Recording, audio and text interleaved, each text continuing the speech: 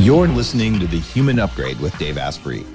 What got you from your glucose control formula into looking at akkermansia? Well, first, starting with glucose control, I, I think that's a really important thing to focus in on all the health benefits. And actually, um, there's been some recent evidence coming out that going after these neurodegenerative diseases, things like Alzheimer's, that we've always thought about how do you target the brain, um, might really have a, a, strong relationship to glucose control. And in fact, some of the really big pharma companies are starting to invest in clinical trials where they're using diabetes drugs to try to treat Alzheimer's disease.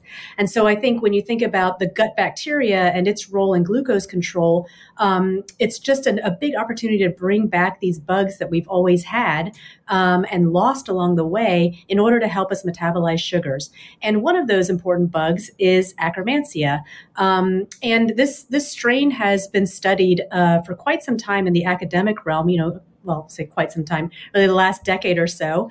And what we're finding is that um, when you think about your gut lining, it, it's sort of like a fence. And so when I first bought my house, I have this wooden fence in the backyard. It was beautiful, uh, shiny. All the planks are really solid. Um, kept all the bad stuff out and the good stuff in. And what happens over time is that you know, with weather and snow and rain, uh, those planks can start to wear out and become thinner, and then sometimes fall down. And if you're not repairing those planks, you're going to end up with a really vulnerable system. And so your gut lining is just like that. It's like a fence. And so what Akkermansia does for a living is it's the guy that comes in and checks your fence and makes sure that uh, all of your planks are sturdy and repaints things when it's needed and puts new planks in when needed. And so what we have discovered, um, and we as sort of the entire scientific community, is that when you are low in akkermansia, or some people are have undetectable levels, it's missing, you have all kinds of problems. And it starts for us, it started with understanding its role in glucose control, but it goes a lot farther than that, Dave. It goes into inflammation, um, immune response, uh, GI distress, and probably also it's a big part of the gut brain connection. And so it's a really, really fundamental keystone strain in our microbiome. So, what this stuff does um, is it eats the mucus that lines the gut. Right. And that's important. And I wanted to point out too, there are, questions we're going to get into about fasting, about maybe if you have no mucus, what's it going to do, long term fasting. The other thing, though, this was only discovered in 2004 this is the year that smartphones came out. I had some weird HTC thing with a round thing on it. I've always been the guy who buys the latest smartphone. So we didn't have them before that. This is a very, very new discovery in the history of, of biology. So before that, every single recommendation ever made in medicine was ignoring the fact that there are bacteria that affect the lining of your gut that keeps food and bacterial toxins out of your blood. So all of a sudden we have this new tool and we've had it for less than 20 years and we've learned a few things. What percentage of the things we need to know about Akkermansia do we know today? Well, I would start by saying we've always had Akkermansia. We just didn't know about it. It's only of recently course. that we discovered it, its existence. Yeah, it's always been there. Yes. Yeah, just but every recommendation we've ever made was, oh yeah, that'll work, without knowing that it was in the system doing stuff that really mattered. That's uh, exactly, exactly. Um, Oh man, what do we know? We know almost nothing. As with any new emerging science or health field, we like to think we know a lot of stuff, and we're learning a ton.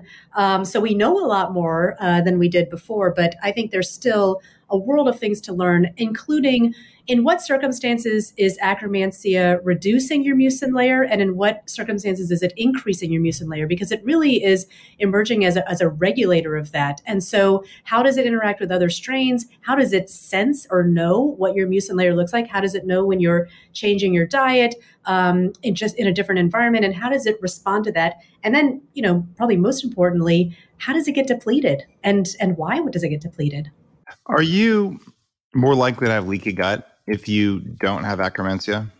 The idea of leaky gut is really um, this is really centered around the the gut lining and an uh, insufficient gut lining, and so it's very much tied to the exact role of akkermansia. And it has been shown that people who have um, IBS, uh, GI issues, leaky gut, they are lower in Akkermansia levels. And, you know, there's a variety of different microbiome testing labs out there right now. And what you'll find is that these microbiome testing groups are starting to call out Akkermansia as one of the keystone strains. And so if you're low in Akkermansia, you can find that out by taking a microbiome test and then um, understand, you know, what your levels are.